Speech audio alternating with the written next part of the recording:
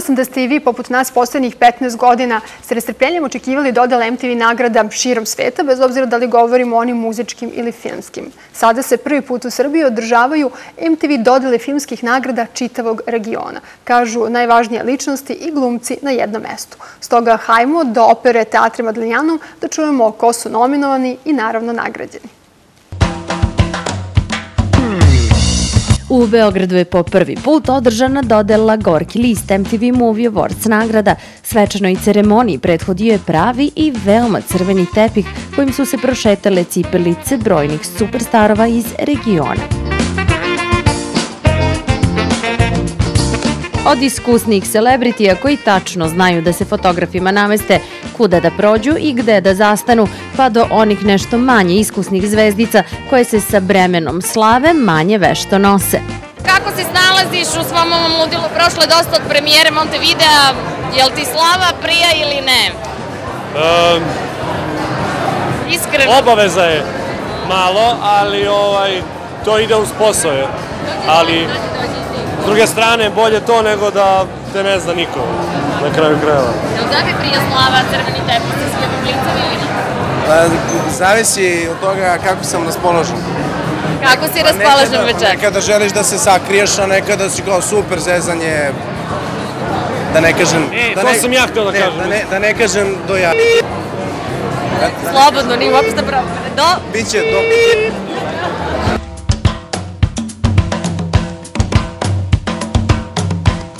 Bila je to i prava fashion parada, frizure, šminka, cipele, haljine, nakit, najbolje u prvi plan jer koliko iste večeri fotografije će biti na svim renomiranim sajtovima, a već sutra će se komentarisati uz prve jutarnje kafe širom Srbije i regiona.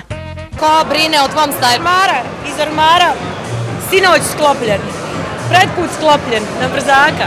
Dobro je ispalo, našla sam ovu kragnicu. Ovu kragnicu sam našla u ovoj torbi, ni jedno ni drugo nisam nosila nikad, ne znam ni odakle. Baš sam se obradovala, lijepa je, jel da? Dame i gospodo, braća i sestre, dobro večer i dobrodošli na prvi regionalni Gorki list MTV Sada već i Dživđani znaju da je film Montevideo Bogte video triumfovao u sve tri kategorije. Za najbolji film, Nina Janković za najbolju glumicu, a Miloš Biković za najboljeg glumca. Ne sasvim uverljivo, Gordan Kičić i Stefan Kapičić koketirali su sa pošalicama u maniru dodele Oscara, dok je voditeljka Ida Prester bila na visini zadatka i cipelama i outfitom i vrlo dobrim i spontanim fazonima. Što se dogodi kad hrpa napaljenih slovenskih tineđera ode nakampirati u negde u slovenskim brdima i skuži da odmah kam pored njihovog se nalazi hrpa napaljenih slovenskih tineđerica. Šta mislite da nastane? Ne, Porić bi možda u Srbiji, ali u Sloveniji su ipak fina djeca iz Evropske unije. Nastala je jedna jako Bilo kako bilo, crveneo se te večeri Beogradskim Adlenijanom, malo zbog tepiha, malo zbog haljina lepih promoterki, MTV statuete, ali i obraščića još uvek stidljivih mladih zvezda koje obećavaju. Ako imate više od 20 godina, onda se naravno sećate časova fizičkog vaspitanja koji smo imali u osnovnoj školi kada smo morali da preskačemo kozleć ili radimo kout napred. Nažalost, istraživanja kažu da današnje generacije to ne znaju da rade i da čak godišnji urade 40.000 pokreta manje. Zašto je to tako i do kojih negativnih posledica to može da dovede u budućnosti, saznaćemo u današnjoj emisiji.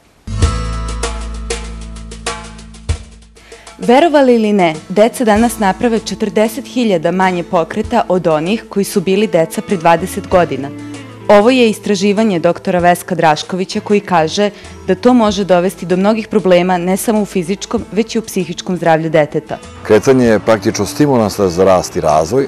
Svaki nedostatak kretanja izaziva određene probleme koji mogu da naprave veliki zdravstveni problem. Zato se da nekretanje e, smatra rizikofaktor broj 1 pre alkohola, pre duvana i pre hrane. Razlozi za nekretanje dece su loše životne navike, brz način savremenog života, ali i nedostatak vremena roditelja. Dete je ranije imalo livadu, njivu, put do škole, peške, hiljade pokreta da bi uspostavilo komunikaciju sa socijalnom grupom. I socijalna grupa imala je osobinu kretanja.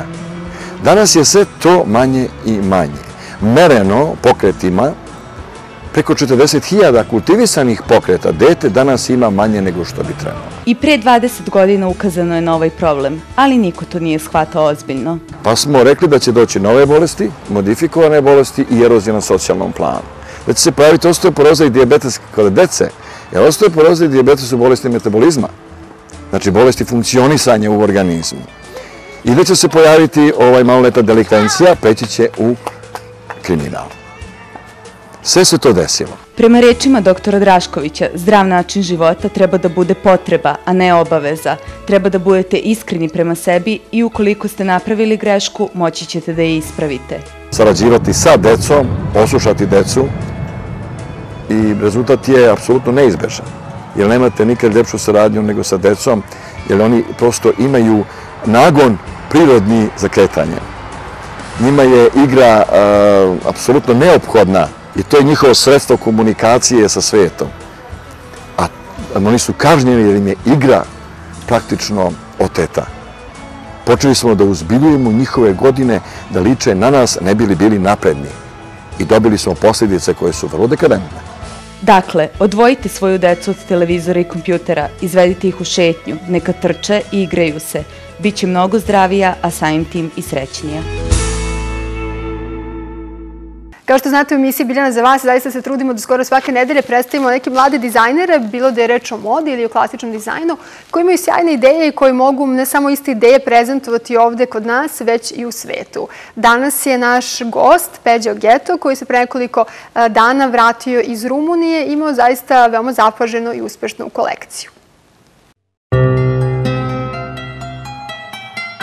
Pre svega, veoma zanimljive, manje i više nosive futurističke, ekcentrične. Jednom rečju, haljine iz nove kolekcije Predraga Vukašinovića privukle su našu pažnju.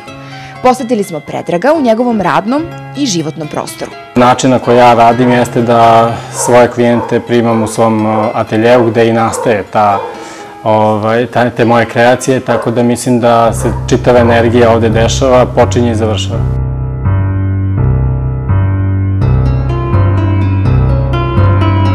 Inspiracija je bila istorijski kostim, crna kolekcija, a, čipka, perije, malo fetiša, malo laka, malo svile. Kolekcija je ugledala svetlost dana u Rumuniji, dok će beogradska publika morati da se strpi do septembra. Imao sam tu čast da učestvujem na modnom festivalu izbora za Miss Royal Models u Rumuniji. Bivšeg modnog urednika Kosmopolitana, čoveka koji je oblačio njeno kraljevsko visočanstvo, princezu Katarinu Karadžorđević, Slađanu Milošević, Bebi Doll, pa i Tošeta Proeskog i Vasila Hadžimanova, pitamo da li su dizajnerani i unikatni modeli skupi.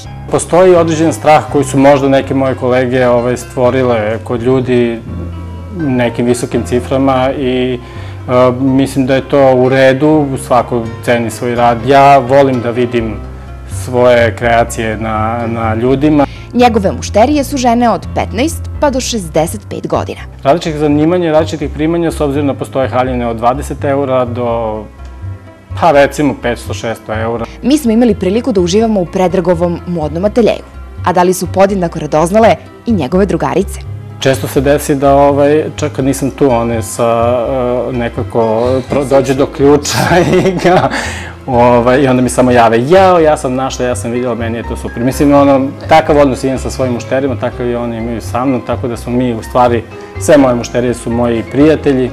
Predraga sada čeka letnja pauza, a od septembra za žene sprema nove modne poslastice.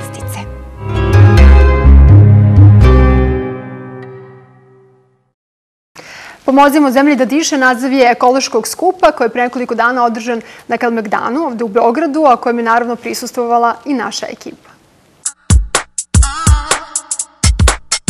Akcijom Pomozimo zemlji da diše, nevladina organizacija Krug dvojke je na Kalemegdanskom donjem gradu zanimljivim programom obeležila Svetski dan zaštite životne sredine. Najveći broj upravo najmlađih posetilaca kroz igru, takmičenja i stvaralački rad dao je svoj ekološki doprinos. Danas je Svetski dan životne sredine 5. juna i mi smo rešili da obeležimo ovaj dan time što ćemo pozvati decu da ih edukujemo, ovaj, znači da igraju igre ekološkog karaktera. Pre toga smo ovaj, obišli osnovne škole gde su diplomirani biolozi Jovana Koća i Sidora Aleksić su napravili te edukacije za decu prvog razreda osnovne škole, gde smo držali edukacije svih, iz svih osnovnih škola starog grada i onda, znači, to je bila prva faza projekta. Čuvajući zdravlje naše planete, čuvamo i naše zdravlje, poruka je koju su organizatori želeli da približe i deci i odraslima.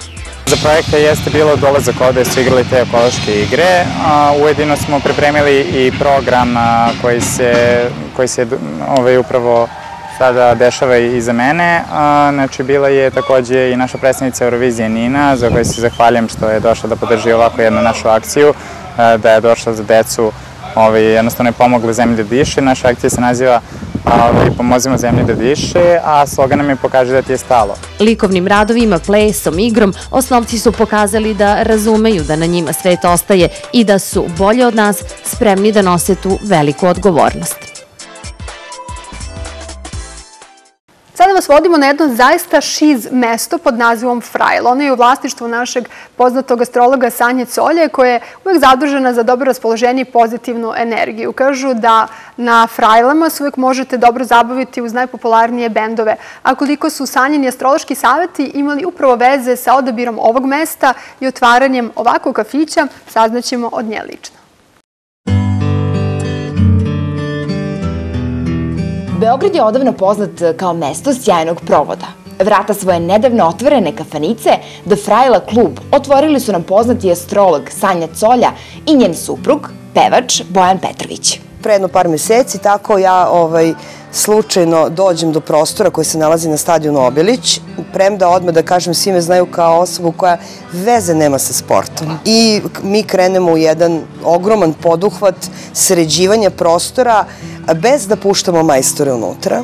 Bojan je bio zadužen za muške poslove, mada je i u onim ostalim pomagao svoj 13 godina starijoj supruzi. Kad se setim da je ovde bilo, ne znam, minus 6-7, da nije bilo vode, da smo Bojan i ja svaku stolicu, a ima ih, dao Bog, 40 samo ovde, pa 40 na drugom mestu, ošmirglali, tapacirali, na što onda nekako multi si talentovan, ali možda nekada poželiš i da imaš malo više para, malo manje talenta.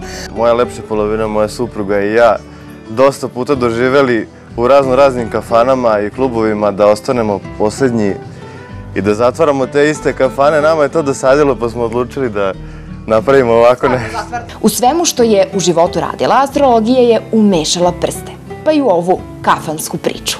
Saturn u vagi učinio je da klub bude uređen u retro fazonu. Najviše posetilaca na stranicu The Frajla kluba imam baš ljude koji mene poznaju kao astrologa. Na mobilni telefon koji služi za rezervacije ja dobijam na večer nekoliko desetina poruka. Pogledaj, molim te, da li me, da li uspeti da se nekako spojim sa vodolijom i tako. Ova Beograđanka veoma je ponosna na kafiće, kafanice i noćni život svog grada da bi se funkcionisalo u tom nekom boemskom fazonu, ti moraš da imaš boeme, a boeme više nemamo.